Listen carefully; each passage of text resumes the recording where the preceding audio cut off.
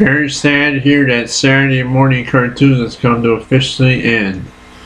I remember watching it back as a kid and really enjoyed all the cartoons back then, like He-Man, Teenage Mutant Turtles, and G.I. Joe. I guess now, since we're in a different age here now in the future, you can watch cartoons 24-7 off of Network now.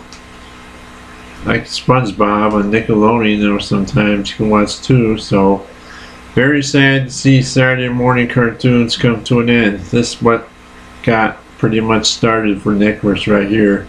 Saturday morning cartoons are some of the best ones I ever see and always remember as a kid watching. All I gotta say is rest in peace Saturday morning cartoons.